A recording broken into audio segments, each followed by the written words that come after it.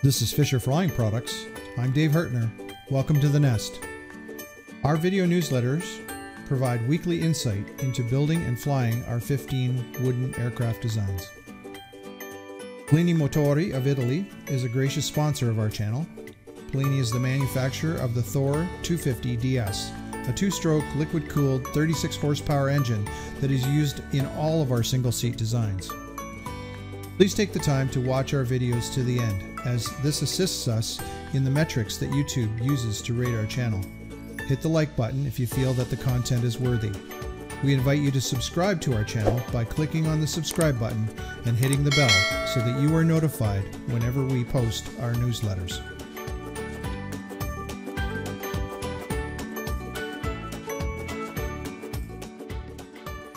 Welcome, everyone, to our 20th episode. Uh, we'd like to thank everyone for taking the time to watch through our videos and click and subscribe and do all the things that you do that you've done to get us up to uh, almost 800 in our subscriber base. We really appreciate uh, having you aboard, and uh, hopefully, we can keep providing content that keeps it interesting. Uh, today, uh, not too fancy. I've had a lot on the go, so I want to congratulate Floyd Welsh. we've completed his Super Koala kit, and it is being shipped out shortly. Uh, we want to thank him for um, what I call the COVID patience. Uh, we've you know we've worked hard to try to make sure that uh, you know we've we've kept in operation and that we're putting out the kits that have been ordered. And um, I'm happy to say that uh, we're we're catching up on the board and. Uh, and uh, we want to invite you out there if you're thinking about purchasing a kit. now's a good time to get your name on the board. We're delivering right now into you know March, April. Um, so if you're thinking about uh, getting your kit going, give give me a call, and uh, we will try to find out whether or not we're making a kit already um, of that of that model. If that's the case, then we make two at the same time, and we just did that with uh, with Floyd's. We made two um, super koala kits at the same time, and uh, eh, because we had two customers, so that worked out great. Uh, next, I'd like to give you a bit of an update on the ARIA program. Um, we have been working on the fuselage and the wing spar, uh, and we've got a bit of work done on that. We're quite pleased with how that's coming along.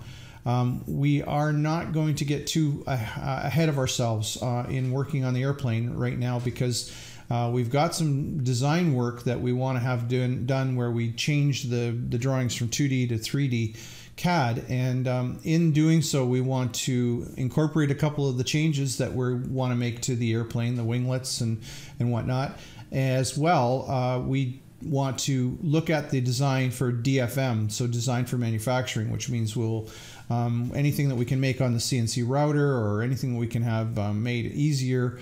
Um, materials changes. Um, uh, we'll be working with the designer to make sure that uh, you know we're apples for apples for strength and um, that we can um, we can try to get this super quick build kit kind of thing um, as far along as, as possible for the builder so that um, it cuts the amount of build time to get the aircraft in the air.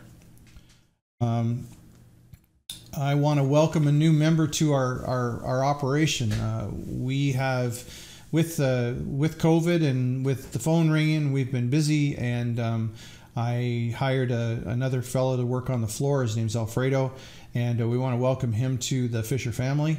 Uh, he's done a great job so far. He's learned a lot uh, from cutting wood to working metal to reading reading blueprints to you know learning our bill of materials system and whatnot. He's uh, been a great asset uh, addition to our family. So welcome, Alfredo. Um, the next thing I want to talk briefly about is that uh, we are working diligently on the plans conversion from 2D to 3D.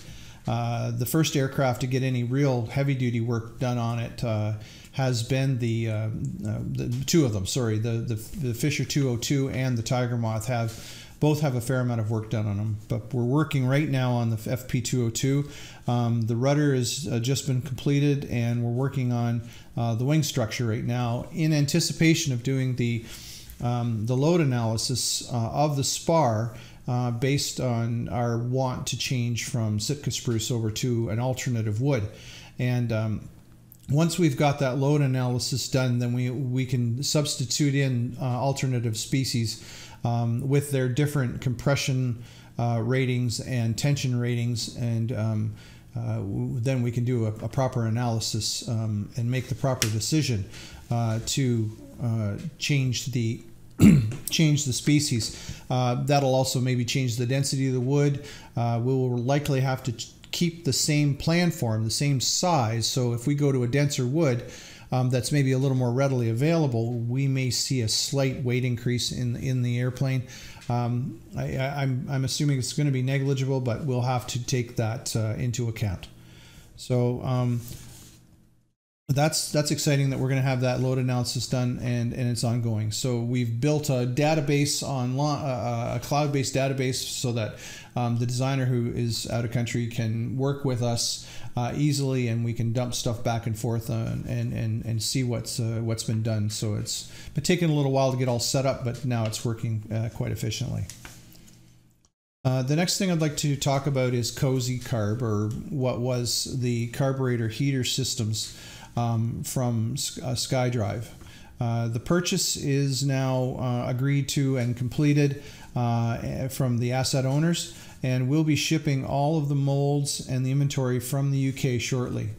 Um, we have um, the next thing for us to do there was okay. Well, we if, if we're buying the molds, we're gonna have to have them made here, and so um, luckily, I have a friend in the casting business, and uh, he's t- he said he would uh, no problem take uh, take on the molds and make our make our parts for us.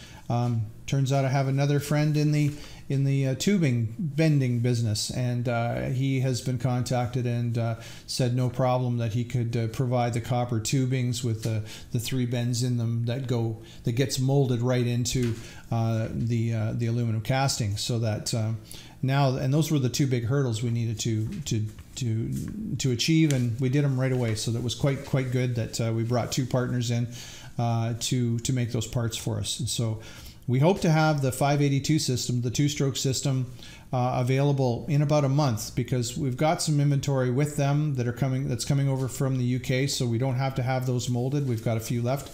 Um, but the the 912 system, uh, the Rotax 912 system was uh, they were right out of the the molded components, and so we're going to be uh, doing an initial run of those and making those up, and uh, and I hope to have those available for sale by the end of the year. So, been uh, quite.